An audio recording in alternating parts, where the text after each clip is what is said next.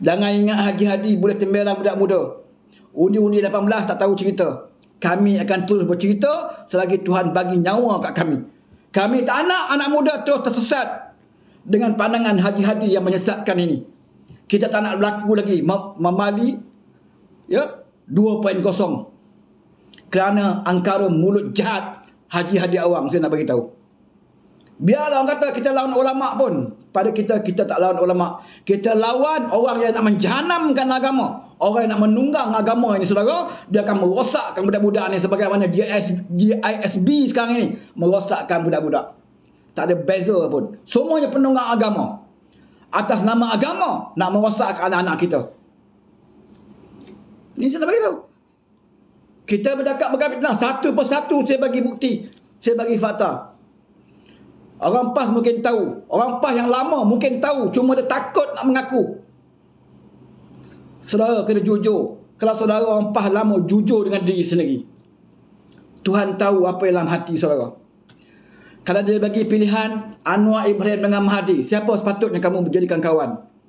Tanya hati dengan jujur. Tapi bagi Haji Hadi. Dia tak peduli Anwar buat apa pun. Kan? Dia dah sanggup kawan dengan Mahdi.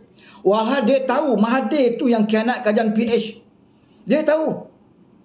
Dia tahu Mahathir perangai dia memang kianat. Sepatutnya Haji Hadi dia tahu pekerja pengkhianatan itu dilaknat oleh Allah Subhanahu Wa Taala. Kianat kawan ini dilaknat saudara. Dalam Islam. Nabi Muhammad buat perjanjian dengan Quraisy dalam perjanjian Hudaybiyah. Nabi pun tak langgar perjanjian. Nabi pun tak langgar perjanjian saudara. Nak bahkan Nabi bertolak ansur dengan orang kafir. Bertolak ansur. Bila orang kafir tak setuju dengan Muhammad Rasulullah, dia suruh padamkan Nabi Muhammad Rasulullah, Nabi padamkan. Walaupun sahabat-sahabat marah, kenapa pula kita ikut cakap orang kafir nak kena padam? Nabi kata, dia orang tidak beriman. Takkan dia tak terima saya sebagai Muhammad Rasulullah? Padamlah. Yang penting matlamat kita. Yang penting matlamat kita buat perjanjian dengan dia untuk apa? Jadi itulah perjanjian yang kita buat Mahathir. Tapi Mahathir dalam perjanjian itu, dia kianat perjanjian dalam kata harapan. Ini perbuatan kianat dilanat oleh Allah. Hadi tahu hukum tu. Tapi kenapa Haji Hadi boleh bersama-sama dengan Mahathir? Bukan kita cakap dia sendiri mengaku saudara. Saudara boleh google dalam surat khabar Sina. Haji Hadi kata apa? Saya terlibat dengan langkah syaraton. Dia bangga. Dia terlibat menjadi salah satu parti yang sama-sama menjatuhkan kerajaan mandat rakyat. Dia seronok. Dia seronok kerajaan PS jatuh. Dia seronok sebab Anwar tak boleh jadi PM. Walaupun sebelum hari 14 dia kutuk Mahathir tu rapat-rapat. Saudara balik tengok balik ucapan dia sebelum PRU 14. Apa yang Haji Hadi kata pada Mahathir? Bila Perhatian Harapan nak menamakan Mahathir sebagai calon Perdana Menteri, Haji Hadi kata apa? Mahathir dah tua, tak payahlah jadi Perdana Menteri. Dia layak jadi doktor klinik satu Malaysia aja dia kata. Hmm, dia kutuk Mahathir. Tapi bila Mahathir akan sumpah jadi Perdana Menteri, dia adalah orang tua. Ha? Orang tua yang pertama ketuk pejabat Perdana Menteri pergi jumpa Mahathir. Dia masuk pejabat Mahathir. Masa Mahathir mula akan sumpah buat kerajaan PH. Ramai lagi pemimpin-pemimpin PH tak jumpa lagi Perdana Menteri. Baru kat sumpah waktu tu. Haji Hadi sampai dulu. Bukan sampai nak buat, bukan sampai nak ucapkan ni apa saudara. Kita ingatkan lebih Hadi. Bila dia jumpa Mahathir, kita ingatkan dia nak bagi tahu Mahathir, Tun, Tun nak jadi Perdana Menteri kan. Ha, tolong buat RU 355 boleh Tun? Sebab kami tahu tak, tak boleh buat. Boleh tak Tun buat? Atau ha, boleh tak buat uh, hudud ke apa ke? Boleh tak Tun? Kita ingatkan macam tu. Sebab dia ulama kan? Bahkan perjuangan RU 355. Kita ingat macam tu. Walaupun tak sebut pun. Jadi kata apa? Dia nak royalty. Dia nak pitih saudara. Pitih. Dia jumpa Mahathir. Dia pujuk Mahathir. Minta royalty. Dia Terengganu dan Kelantan. Dia bukan cerita pasal RU 355. Dia bukan cerita pasal hudud. Dia nak pitih. Dan yang kedua. Dia mengajak Mahathir. Untuk sama-sama belot dengan Perkataan Harapan. Keluar Perkataan Harapan. Kami akan sokong Tun. Jadi Perdana Menteri kali ketiga. Ini bukan saya cakap. Mahathir sendiri mengaku. Dan Mahathir kata PAS tipu dia. PAS kata nak sokong dia, tiba-tiba PAS tak sokong. PAS boleh sokong Muhyiddin. Padanlah. Padan, pengkhianat dikhianati. Mahathir percaya ke Hadi, Hadi kencing Mahathir. Kan? Yang untungnya Dan Cirit. Perancangan sebenarnya bukan Dan Cirit Perdana Menteri saudara. Perancangan sebenarnya dia nak Mahathir Perdana Menteri. Bawah kerajaan perpaduan. Itu perancangan asal. Yang dijanjikan dengan PAS, dijanjikan dengan UMNO waktu itu. Nak angkat Mahathir Perdana Menteri kali ketiga bawah kerajaan perpaduan. Tapi bila Mahathir tak mau tinggalkan DAP dengan PKR, waktu itu dia alih perhatian kepada Muhyiddin Yassin. Muhyiddin ambil kesempatan. Sailang ke tengah-tengah. Last kali Mahathir tak jadi. Sebab tu bodohnya Mahathir ni. Ya, yang dikejar tak dapat, yang dikendong keciciran. Bayangkanlah sampai Datuk Tuan Agung nasihatkan Mahathir. Jangan letak. Masa dia ustus surat pertakan jawatan, Agung nasihat dekat Mahathir, jangan letak. Kenapa pula nak letak? Kamu dah ada sokongan banyak. Bukan sokongan macam Den Cirit itu hari. Den Cirit jadi Perdana Menteri 114 je suara. 114 dia sokong dia jadi Perdana Menteri. Masa Mahathir Perdana Menteri itu ramai yang sokong dia. GPS GPS JRS GPS Sarawak pun sokong dia. Sebab tu Agung kata jangan letak. Tak ada sebab nak letak. Tapi dia nak letak juga tak dengar cakap Agung. Sebab dia yakin dia boleh jadi Perdana Menteri kali ketiga. Sebab Haji-Haji dah janji dengan dia. Tapi Allah tunjukkan kau kianat orang. Kau dah elok-elok jadi Perdana Menteri. Kan? Kau nak kejar sekali lagi jadi Perdana Menteri yang ketiga. Kerana hanya kau nak menyekat Anwar jadi Perdana Menteri. Itu aja. Kalau dia jadi bentuk kerajaan terus bersama Perkataan Harapan, dia terpaksa ikut perjanjian. Mahathir terpaksa ikut perjanjian untuk menyerahkan jawatan itu kepada Anwar Ibrahim. Jadi nak mengelakkan dia daripada menyerah jawatan kepada Anwar Ibrahim, dia kena hancurkan Perkataan Harapan tubuh kerajaan baru. Kalau tubuh kerajaan baru di bawah kerajaan perpaduan, Anwar dah tak boleh tuntut.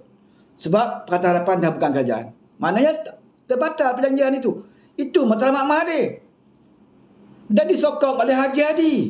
Sepatutnya Haji Hadi, dia sebagai ulama' Orang yang tahu agama sepatutnya dia nasihat Mahathir. Wahai Mahathir, ini tak ikut akhlak Islam. Islam ni kalau kita berjanji dengan orang kafir pun kita kena patuh. Buat perjanjian dengan orang kafir pun kena patuh. Kamu buat perjanjian ni dengan Anwar Ibrahim. Dia bukan kafir, dia orang Islam. Dengan orang kafir pun kita kena ikut perjanjian kita. Apatah lagi kamu perjanjian dengan Anwar Ibrahim. Sepatutnya Haji Adi kena nasihat macam tu. Dan Haji Hadi pula boleh cerita dengan Mahdi. Tun, jangan kianat orang Tun. Parti kami dah kena dah. Betapa sakitnya dikianati. Suatu kami di Perak dulu. Kami bentuk kerajaan Perak. Menteri besar kami daripada PAS, Wabi Niza. Kami dikianati oleh tiga adun. Tumbang Wabi Niza. Kami rasa sakit hati. Derita kami. Terpaksa kami berguling-guling depan istana Perak. Dengan jubah-jubah kami berguling depan istana kerana nak mempertahankan kerajaan mandar rakyat di Perak. Patutnya Haji Hadi cerita depan tuan macam tu. Kami terpaksa bersidang bawah pokok di Perak. Kerana nak pertahankan mandat rakyat. Sepatutnya Haji Hadi kena cerita dengan Tun. Sebab dia ada pengalaman. Tuhan bagi parti PAS ini pengalaman. Sebagai mangsa yang dikenati. Tetapi tidak saudara. Jenis manusia orang tua kedaung ya lebay ke daung lebay ke larah ini saudara. Dia lebih kepada keduniaan. Dia lupa yang Allah uji parti dia dalam kesusahan. Tiba-tiba bila nampak kesenangan dia boleh tinggalkan. Tak ada langsung ciri-ciri ulama. Tak ada langsung saudara. Bahkan lebih teruk daripada parti yang bukan Islam. Parti yang bukan Islam pun tak pernah kianat. Sebab itu DAP ni tak pernah kianat kawan dia sebab itu kami dalam Pakatan Rakyat dulu dengan DAP kekal sampai hari ini pun dapat harapan kami kekal sebab DAP tidak pernah kianat kawan. Berbeza pendapat macam mana pun lah kami tak pernah kianat. Bukan kami tak pernah bergaduh dengan DAP, ada je pimpinan kami berbeza pendapat dengan DAP. Tapi pernah tak kita nak pisah? Tak ada saudara. Sebab masing-masing ada keikhlasan. Dengan PAS cuba sebut parti mana yang lama dengan dia? Tak ada. Tak ada parti yang lama dengan dia. Sebab tidak ada keikhlasan. Berkawan dengan UMNO pun tak ikhlas. buat muafakat nasional kononnya oh inilah bila bentuknya mas muafakat nasional ini penyatuan Islam ini seperti mana Al-Quran sebut waqtasimu bihablillah jami'an wa la tafarraqu ku baca berdengung pilih musisi dengan bacaan Al-Quran bergegar aras di langit bertakbir malaikat di langit apabila penyatuan umat Islam berlaku dalam muafakat nasional tapi sebenarnya bukan kerana penyatuan Islam sebenarnya sebenarnya kepentingan politik. Nak bersama dengan AMNO sebab nak jentera AMNO. Itu yang ada dalam hati dia orang. Sebab itu penyatuan itu tak kekal lama. Sebab tidak ikhlas. Tidak ikhlas. Macam kita menikah dengan perempuan lah. Menikah dia bukan kerana dia cantik tak cantik tapi kerana harta dia. Kalau bernikah kerana harta saudara, percayalah takkan lama jodoh kamu. Macam itulah parti politik. Macam itulah saudara. Berkawan dengan UMNO bukan kerana penyatuan Melayu. Kalau betul penyatuan Melayu Islam, dia akan pelawa parti amanah sekali. Sebab parti amanah hampir 100% Melayu Islam. Kenapa parti amanah dia tak mau terima? Dalam fikiran pun ada juga Islam. Kenapa dia tak mau terima? Tapi kenapa dia nak UMNO saja? Kerana jual nama ayat Quran. Oh inilah penyatuan Islam yang diseru oleh Allah Subhanahu Wa Taala dalam Al-Quran. Hmm. Waktu itu Zaid Hamidi ada 80 lebih kes. Sekarang ni 47 kes pun tak terima dah. Walaupun DNA. DNA 47 kes. Dulu tak ada DNA. 87 lagi banyak. Waktu itu tak kira saudara kluster mahkamah. Peluk rapat Zaid Hamidi. Siap suap makan lagi Haji Hadi. Bukan saya nak bohong. Saudara Google. Saudara pergi buka Google. Type Hadi suap Zahid makan. Memang akan keluar gambar dia. Dia suap mulut Anwar Ibrahim pun tak nak suap mulut Zahid. Anwar Ibrahim pun tak nak suap mulut Zahid. Haji Hadi suap. Punya dah baiknya. Waktu tu Zahid ada 87 kes. Najib pun ada kes. Semua peluk. Tak ada kluster mahkamah. Tak ada apa-apa. Bila orang tanya, eh kenapa pelapah berkawan dengan Zaid, Zaid ada kes. Oh, kita dalam Islam ini, uh, tidak seorang itu tidak boleh dipati bersalah sehingga dibuktikan bersalah. Oh, baca Nas Al-Quran. Baca Nas Al-Quran, saudara. Ini prinsip undang-undang Islam. Seseorang itu tidak bersalah sehingga terbukti bersalah. Sebab itu saya perlu Najib. Sebab itu saya perlu Zaid. Sebab itu sesuap makan Zaid. Hari ini cuba tanya dia balik. Cuba tanya dia balik. Nas mana dia nak pakai? Hari ini apa kata Tuan Mentoman? Saudara. Apa kata Tuan Mentoman hari ini? Kita bukan tak nak terima UMNO. Tapi kita tidak mahu Zahid. Sebab Zahid ada kes. Walaupun dia DNAA dia kata. Tapi dalam Islam ni kita... Kalau boleh nak cari yang bersih-bersih betul lah macam Ana lah kata Tuan Toman kan. Dia bersih lah tu. Macam Ana lah tak ada apa-apa. Ni Zahid ni walaupun tak terlibat, tak jatuh hukuman tapi DNA tak boleh lah Islam. Dia macam benda was-was lah. Macam air ni. Kalau kita was-was nak minum, lebih baik tak payah minum. Oh, kaedah. Kaedah. Hmm. Kan? Hmm. Dulu tak ada DNA. 87 kes. Ini DNA 47. Dulu 87. Tak ada DNA. Boleh juga. Kawan, kenapa boleh? Waktu itu tidak ada wahyu turun dari langit tentang ayat ini. Tentang Nas tak turun lagi. Ke baru baru ni Nas turun. Diwahyukan. Saudara. Ha? Zahid tak mau terima Zahid. Sebab apa? Zahid ada DNA. Kita nak amno je. Kita nak nikah dengan ada orang tapi bapak dia kita tak mahu. Macam tu lah. Kita nak nikah dengan ada orang. Minat dengan ada orang. Tapi bapak dia tak mahu. Dah bapak dia jadi wadi sepatutnya. Tapi dia tolak. Dia tak nak. Ini perangai dia. Bila kita tanya balik, eh kalau betul DNA itu meragukan, tak boleh dalam Islam nak terima DNA, kenapa berarti Syahidan Kasim? Bukankah Syahidan Kasim DNA? Ha? Lagi terus Syahidan Kasim DNA kes cabul orang. Raba anak dara orang. DNA Syahidan Kasim. Kamu bukan saja boleh terima Syahidan Kasim, bahkan Ya, bahkan Syahidan Kasim menjadi calon wakil rakyat kamu. Bahkan Syahidan Kasim kamu lantik AJK PAS Pusat. Kamu nak jawab apa? Dalil mana kamu nak guna sekarang ini? Kenapa DA Zahid tak sama dengan DA Syahidan? Oh, Syahidan tak apa.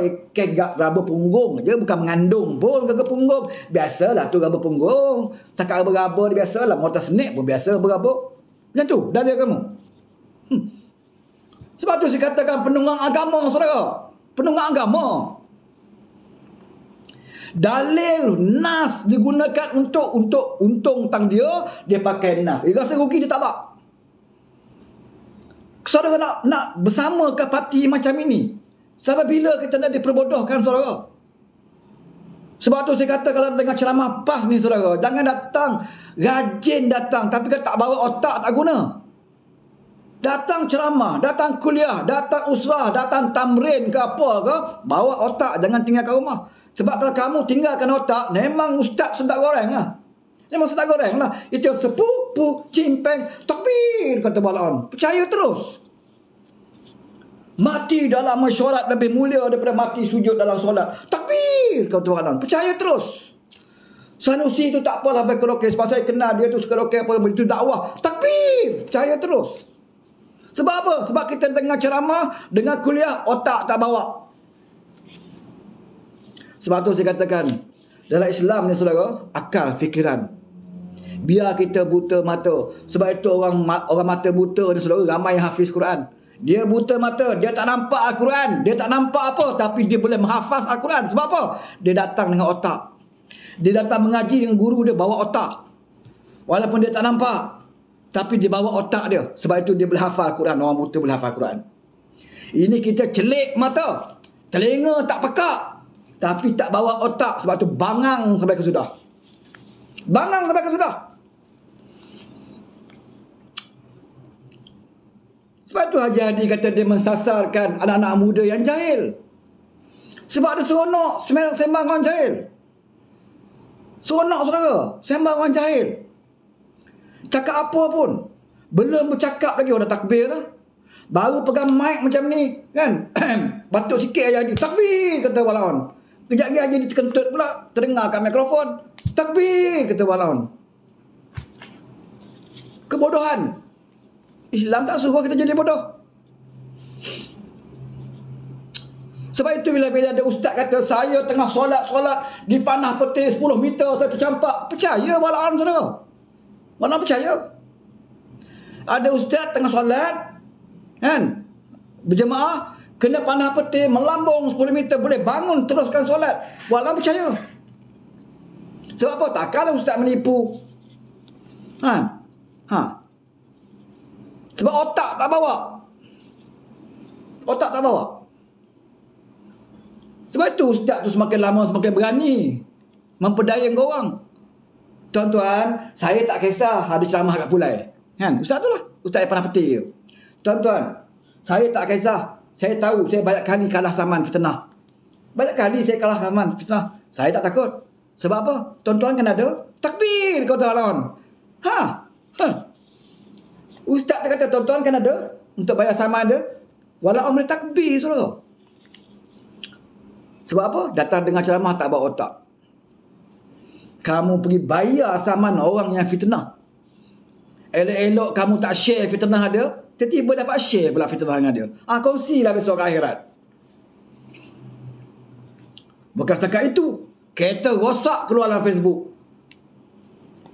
Ana hari ini, kuda perang Ana, kuda dakwah satu Ana buat pergi berdakwah ni, kuda perang Ana dilanggar oleh orang, kemek belakang, insurans tak boleh claim. Jadi kena dua kena lima ribu. Jadi kita minta lah derma jihad berebut-rebut pergi masukkan duit dalam kawan. Kereta dia tak boleh clear, tak ada insurans. Tak tahulah sebab apa tak ada insurans. Tak ada rotek kot. Tapi, adakah saya fitnah? Betul, wujud. Nak bayar bil api sekolah pondok pun minta dengan orang. Yang minta tu pula pakai bil saya. Yang tukang bagi derma ni pakai kad chair je. Yang minta tu pakai bil saya. Saya silap bini dua tiga orang. Kita yang menderma ni itulah makcik kita seorang orang tua tu. Kita dah lah dapat bini seorang tu kan sama-sama tak ada gigi macam kita juga. Kan? Naik kat chair je. Bagi derma kat ustaz tu. Ustaz tu ha, tiga orang bini seorang macam CEO GISB ke kan? Ha, budak-budak makan lah. Tak ada gaji tak ada apa. Dia bini tiga. Lebih kurang je. Sebab tu kata otak, oh Tuhan kurniakan otak ni bukan sahaja saudara. Bukan sahaja. Jauh lari saya topik ni. Di maudok dia tadi Hasim Jasin je. Saudara lah meng- mengapi-ngapi kan tadi ni. Saya tak boleh orang api-api dengan saya. Saya mudah nak share. ha, kejap ya. Nak minum air zam-zam jap.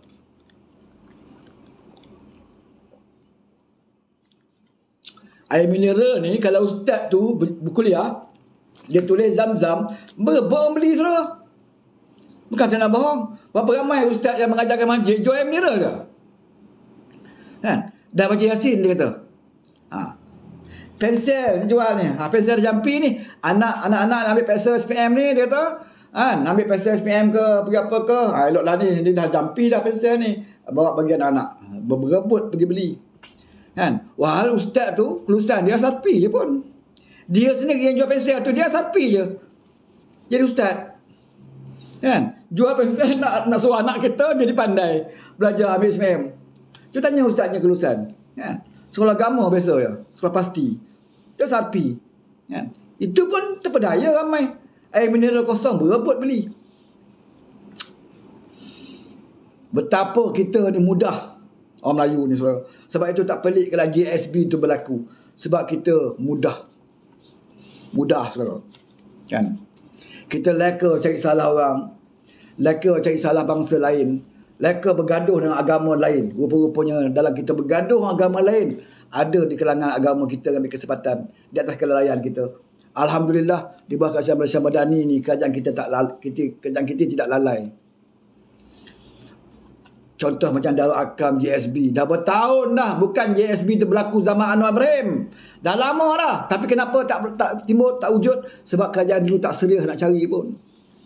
Anwar ni kau orang politik ke kau orang agama ke kau immigration ke kau pengetua sekolah ke kau imam masjid ke kalau kau bersalah diburu. Sebab itu dalam zaman Anwar ni macam-macam orang kena tangkap saudara. Guru besar dia kena rasuah. Imam masjid kat Perlis tu pun kena. Sebab apa? Jual surat nikah. Hmm, siapa pula report ni? Sekarang ni musim report saudara. Sampai notis dah ni. Kan? Tak tahulah. Kalau putus kan selalu lagi kat YT. Saya serentak uh, live kat YT ni. Kan? Hmm, ramai dah kawan kita kena ban ni. Kan? Tapi saya insyaAllah lah sebab saya dah pagar lah sebenarnya. Belagak pula tu. Saya dah pagar dah ni. Ha? Saya pagar walaon satu. Satu lagi pagar daripada kena ban. ha, kan? Harap-harap pagar saya menjadilah.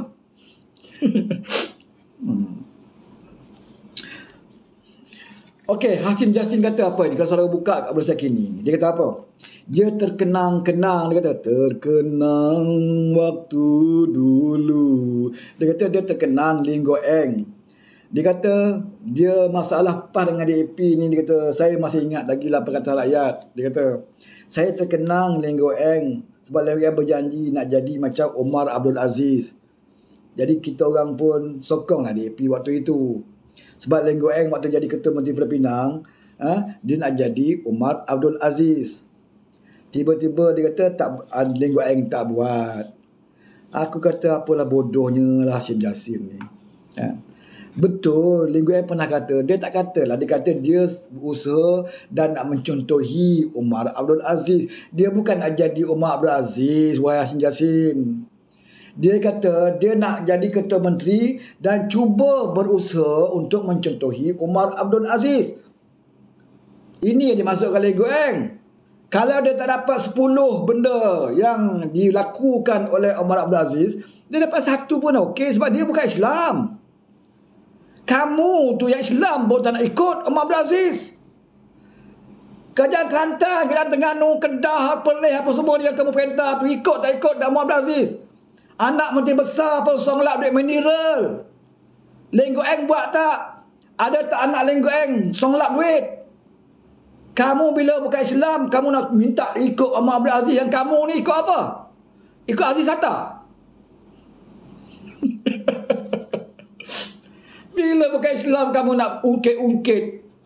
Ah, Lenggo Eng dulu jadi ketua menteri tak nak ikut Umar Abdul Aziz dia kata. Ah. Yang kamu tu Ikut siapa? Aziz Sata. Buat lawak aja. Memang lawak sungguh. Sepatutnya terima kasih. Kita tak jadi kewajipan pun Linggo Eng nak ikut Umar Abdul Aziz ni. Sebab dia bukan Islam. Dia boleh je kata dia nak ikut uh, pemimpin Cina.